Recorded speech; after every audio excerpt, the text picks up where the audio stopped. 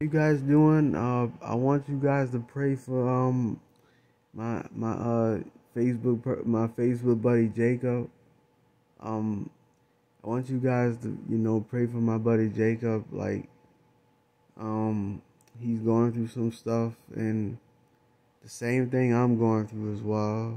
So, I want you guys, I want you guys to pray for him and you know pray for me as well. He talking about he want he talking about he he's he he talking about he was gonna harm his own family and all that, and he was gonna commit suicide. You know. I mean, really. We, me and him, we pretty much are going through something right now. So, me and him, we both going through like the same thing right now. Like the same thing for right now, you know. Cause like really, I want you guys to pray for him and pray for me as well.